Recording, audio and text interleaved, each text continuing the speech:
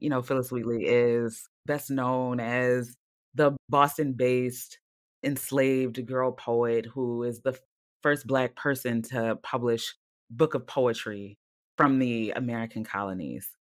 That brief bio, which is so often how Wheatley is defined, kinda does little to help us understand this woman who lived to be about 31 years old, is enslaved to the Wheatley family.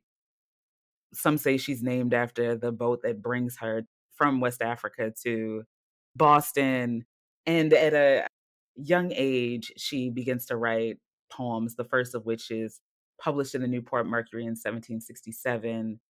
She eventually marries John Peters. She may or may not have children. It it's clear that there's so much more to this woman's brief life